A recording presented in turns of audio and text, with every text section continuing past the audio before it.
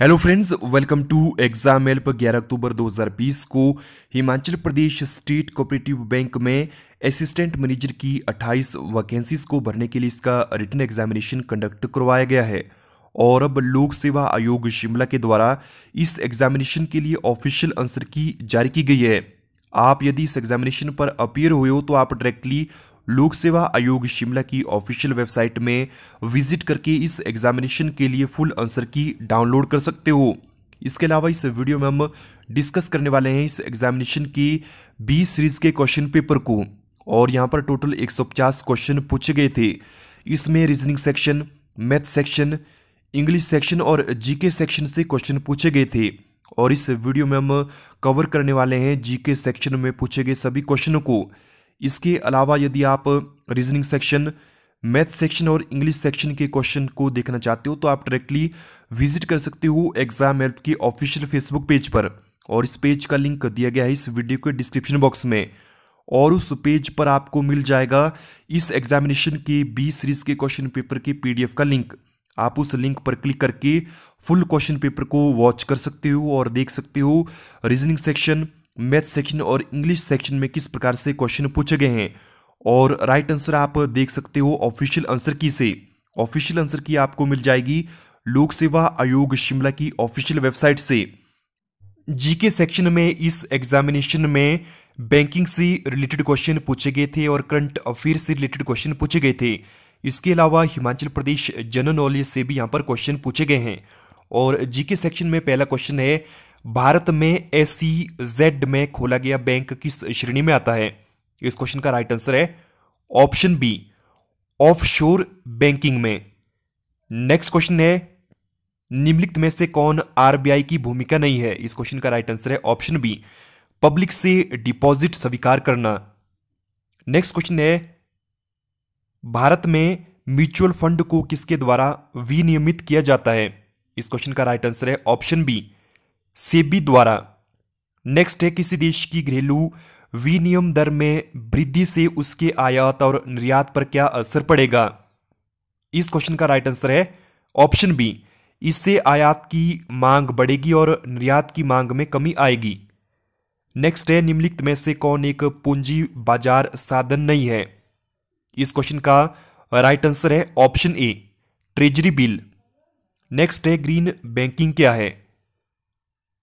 इस क्वेश्चन का right answer है ऑप्शन सी कृषि समर्थक पर्यावरण पर बैंक वित्त पोषण नेक्स्ट है माइक्रो स्मॉल और मीडियम इंटरप्राइजेस कैसे वर्गीकृत हैं? इस क्वेश्चन का राइट आंसर है ऑप्शन ए अर्जित लाभ के आधार पर. नेक्स्ट है ट्रेजरी बिल है. इस क्वेश्चन का राइट आंसर है ऑप्शन सी सरकार की अल्पकालिक देयता. नेक्स्ट है एपीएमसी अधिनियम निम्नलिखित में से संबंधित है। इस क्वेश्चन का राइट आंसर है ऑप्शन ए भारत में कृषि विपणन से। नेक्स्ट है बैंकिंग शब्दावली में एनपीए का अर्थ है। इस क्वेश्चन का राइट आंसर है option B non performing asset next है, भारत में राजकोषीय नीति का स्वर्णिम नियम है। इस क्वेश्चन का राइट आंसर है ऑप्शन बी केवल सार्वजनिक निवेश के लिए उधार लेना। नेक्स्ट क्वेश्चन है, अतिरिक्त राजस्व प्राप्त करने के लिए लगाया गया अस्थायी कर कहलाता है। इस क्वेश्चन का राइट आंसर है ऑप्शन ए उपकर। नेक्स्ट है, जब आरबीआई कैश रिज़र्व अनुपात में वृद्धि की घोषणा करता है तो इसका क्या मतलब है? इस क्वेश्चन का राइट आंसर है? ऑप्शन बी, वाणिज्यिक बैंकों के पास उधार देने के लिए कम पैसा होगा। उन्नीस सौ इक्यानवे में भारत में एक आर्थिक संकट आया। निम्नलिखित में से किसको उसी के कारण के रूप में उदृत किया जा सकता है? इस क्वेश्चन का राइट आंसर है ऑप्शन बी, बाहरी ऋण का उच्च स्तर। व्हाइट लेवल एटीएम से क्या अभिप्राय है? इस क्वेश्चन का राइट आंसर है ऑप्शन सी गैर बैंकिंग कंपनियों द्वारा स्थापित एटीएम एक स्वतंत्र अर्थव्यवस्था में मुख्य रूप से आय की असमानताएँ होती है। इस क्वेश्चन का राइट आंसर है ऑप्शन बी निजी संपत्ति और विरासत। लघु उद्योग विकास बैंक द्वारा भारत आकांक्षा कोष एक निधि है। इस क्वेश्चन का राइट आंसर है option A. Venture capital fund में निवेश करेगा। नेक्स्ट है, वास्तविक आय का मतलब है।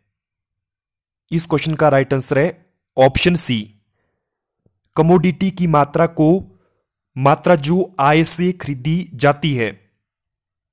नेक्स्ट है, महँगाई की दर को कम करने के लिए सरकार को चाहिए। इस क्वेश्चन का राइट आंसर है ऑप्शन सी आय कर बढ़ाए। नेक्स्ट है इंटरपर्सनल इक्विटी का मतलब है। इस क्वेश्चन का राइट आंसर है ऑप्शन ए समान उपचार समान क्षेत्रों में। नेक्स्ट क्वेश्चन है, भारत पढ़े ऑनलाइन अभियान के संदर्भ में निम्नलिखित कथनों पर विचार करें।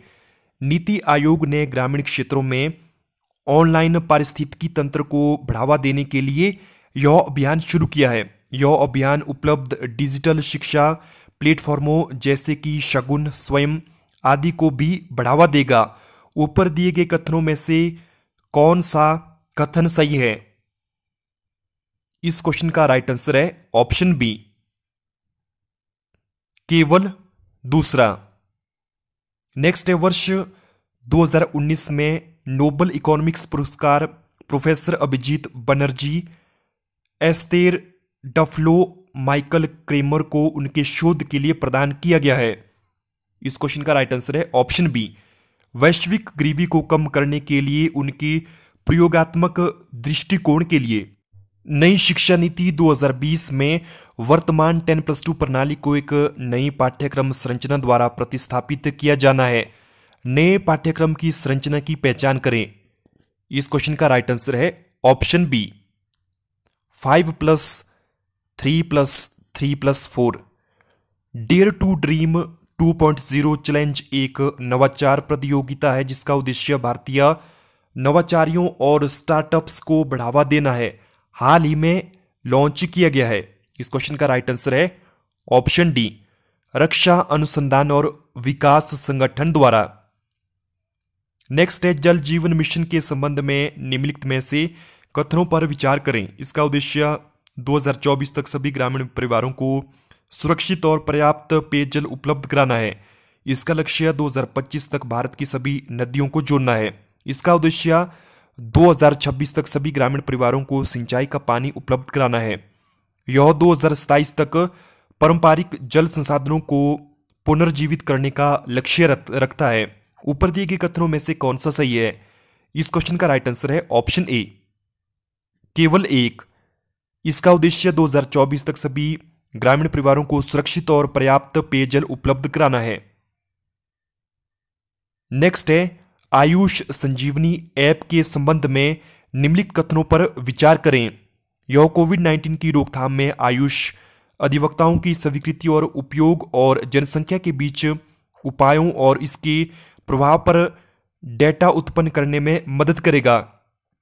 यह आयुष मंत्रालय और इलेक्ट्रॉनिक्स और सूचना प्रौद्योगिकी मंत्रालय द्वारा विकसित किया गया है। ऊपर दिए गए कथनों में से कौन सा कथन सही है? इस क्वेश्चन का राइट आंसर है option D, both one and two. Next question है, ऑपरेशन नमस्ते अक्सर समाचारों में देखा जाता है। निम्नलिखित में से किसके साथ जुड़ा हुआ है? कोविड 19 के प्रसार का मुकाबला करने के लिए भारतीय सेना द्वारा शुरू किया गया है। कोविड 19 के प्रसार का मुकाबला करने के लिए राष्ट्रीय आपदा प्रतिक्रिया बल द्वारा शुरू किया गया है। कोविड 19 के प्रसार का मुकाबला करने के लिए भारतीय चिकित्सा अनुसंधान परिषद द्वारा शुरू किया गया है। कोविड 19 के प्रसार का मुकाबला करने के लिए भारतीय वायुसेना द्वारा शुरू किया गया है। इस क्वेश्चन का राइट आंसर है ऑप्शन ए, केबल एक। कोविड 19 के प्रसार का मुकाबला करने के लिए भारतीय सेना द्वारा शुरू किया गया है। नेक्स्ट है, गोल कार्यक्रम के संबंध में निम्नलिखित कथनों पर विचार करें जो कि हाल ही में लॉन्च किया गया है। इस कार्यक्रम का उद्देश्य दूरस्तर क्षेत्रों में अनुसूचित जनजाति के युवाओं को अपने गुरुओं के साथ अपनी आकांक्षाओं, सपनों और प्रतिभा को साझा करने के लिए डिजिटल प्लेटफॉर्मों का उपयोग करने में सक्षम बनाना है। कार्यक्रम का शुभारंभ जनजातीय मामलों के मंत्रालय द्वारा गूगल इंडिया के साथ साझेदारी में किया गया था। उपरोक्त कथनों में से कौन सा सही है? इस क्वेश्चन का राइट आंसर है ऑप्शन ए। केवल एक। निम्नलिखित कथनों पर विचार करें। पीएम केयर फंड में किया गया योगदान सीएसआर खर्च के रूप में योग्य होगा। कोविड 19 के लिए मुख्यमंत्री राहत कोष या राज्य राहत कोष का योगदान स्वीकार्य सीएसआर खर्च के रूप में योग्य नहीं है। उपयुक्त कथनों में से कौन सा सही है? इस क्वेश्चन का राइट आंसर है ऑप्शन सी बोथ हो वन एंड टू नेक्स्ट है हाल ही में प्रख्यापित अध्यादेश जो कोविड 19 के खिलाफ लड़ने वाले स्वास्थ्य पेशेवरों के खिलाफ हिंसा करने वाले व्यक्तियों को दंडित करना चाहता है, कौन सा अधिनियम एक्ट है? इस क्वेश्चन का राइट आंसर है ऑप्शन ए, महामारी रोग एक्ट अठारह सौ सतानवे। नेक्स्ट क्वेश्चन है, यूएनपीडी के मानव विकास सूचकांक के बारे में निम्नलिखित कथनों पर विचार करें। और इस क्वेश्चन का राइट आंसर है ऑप्शन डी। सब सही है। सतत विकास की अवधारणा के बारे में निम्नलिखित कथनों पर विचार करें। इस क्वेश्चन का राइट आंसर है ऑप्शन डी। सब सही है। नेक्स्ट है, global snow leopard and ecosystem protection programme के बारे में निम्नलिखित कथनों पर विचार करें। और यहाँ पर इस क्वेश्चन का राइट आंसर है ऑप्शन डी। फ़र्स्ट, सेकंड और थर्ड। नेक्स्ट क्वेश्चन है विश्व विरासत दिवस 2020 के संबंध में निम्नलिखित कथनों पर विचार करें और यहाँ पर कथन क्या दिए गए हैं, आप वीडियो को पॉज करके देख सकते हो। और यहाँ पर इस क्वेश्चन का राइट आंसर है ऑप्शन सी एक और तीन केबल नेक्स्ट है, विश्व स्वास्थ्य संगठन द्वारा शुरू की गई ई 2020 पहल किसके बारे में है? और यहाँ पर इस क्वेश्चन का राइट आंसर है ऑप्शन बी ई कचरे से उत्पन्न स्वास्थ्य संबंधी समस्याओं का सामना करना। नेक्स्ट है, मैं प्रतिबद्ध पहल जो हाल ही में खबरों में थी। इस क्वेश्चन का राइट आंसर है ऑप्शन ए भविष्य में एक मज़बूत और लचीला ऊर्जा प्रणाली बनाना। नेक्स्ट है विश्व खाद्य पुरस्कार 2020 के संबंध में निम्नलिखित कथनों पर विचार करें।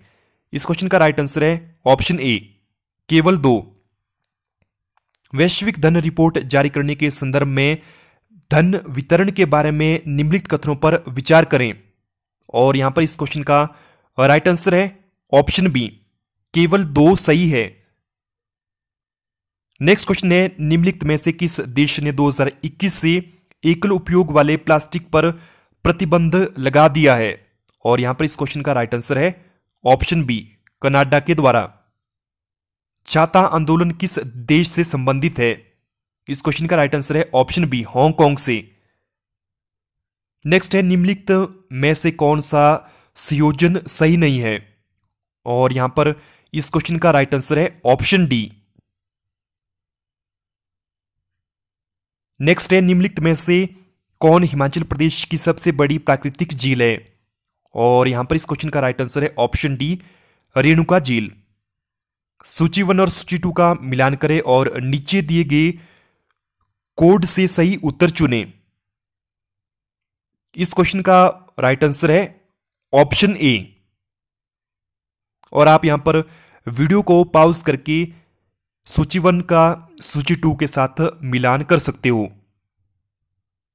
नेक्स्ट है, चुब्बा बुजुंग सेरिंग किंगर निम्नलिखित में से किस जनजाति की पारंपरिक पोशाक है? इस क्वेश्चन का राइट आंसर है ऑप्शन बी खाम्पा। नेक्स्ट है, निम्नलिखित में से कौन सा संयोजन सही नहीं है? और यहाँ पर नीचे सूची वन दी गई है और सूची टू दी गई है। और यहाँ पर इस क्वेश्चन का राइट आंसर है ऑप्शन डी मंडी, ऋषि ब्यास। बिलासपुर में प्रसिद्ध रंग महल किसने बनवाया था जो बाद में गोविंद सागर में डूब गया था? इस क्वेश्चन का राइट आंसर है ऑप्शन डी राजा विजय चंद द्वारा। नेक्स्ट है, सूची वन का सूची टू के साथ मिलान करें। और आप यहाँ पर इस वीडियो को पॉज करके सूची वन का सूची टू के साथ मिलान कर सकते हो। और यहाँ पर इसका राइट आंसर है ऑप्शन ए नेक्स्ट क्वेश्चन है, दान अघे अतीत में निम्नलिखित में से किस स्थान का नाम था? इस क्वेश्चन का राइट आंसर है ऑप्शन ए मनाली का। जैविक खेती को बढ़ावा देने के लिए राज्य में एक योजना शुरू की गई है। योजना का नाम बताइए। और यहाँ पर इस क्वेश्चन का राइट आंसर है ऑप्शन ए प्राकृतिक खेती खुशहाल किसान। नेक्स्ट है, कौन सी नई योजना एचपी सरकार द्वारा चेक डैम और तालाबों का निर्माण करके सिंचाई के लिए पानी उपलब्ध कराने की दृष्टि से शुरू की गई है। और यहाँ पर इस क्वेश्चन का राइट आंसर है ऑप्शन सी जल से कृषि को बल योजना। और नेक्स्ट है इंग्लिश सेक्शन और देखिए इसी के साथ हम हम कवर कर चुके हैं जीके सेक्शन के सभी क्वेश्चन और दूसरे सेक्शन के लिए आप डायरेक्टली विज़िट कर सकते हो एग्ज़ाम हेल्प की ऑफिशियल फेसबुक पेज पर। और वहाँ से आप फुल इस क्वेश्चन पेपर को डाउनलोड कर सकते हो। और सभी के सभी राइट आंसर आप देख सकते हो ऑफिशियल आंसर की से। आज के इस वीडियो में बस इतना इस वीडियो को अधिक से अधिक लाइक और शेयर करें। Thanks for watching